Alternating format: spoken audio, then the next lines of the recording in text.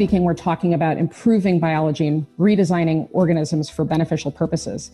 It's going to allow us to not just edit genomes, but also, uh, and importantly, write a new code for life. We'll have write level permissions. We already started to see some of that this year. COVID 19 vaccines, they make use of engineered code in the form of messenger RNA. COVID 19 vaccines, they make use of engineered code in the form of messenger RNA biology. This is going to allow us um, very soon, it's, it's kind of an umbrella term, it's synthetic biology that includes CRISPR. Generally speaking, we're talking about improving biology and redesigning organisms for beneficial purposes. It's going to allow us to not just edit genomes, but also, uh, and importantly, write a new code for life. We'll have write level permissions.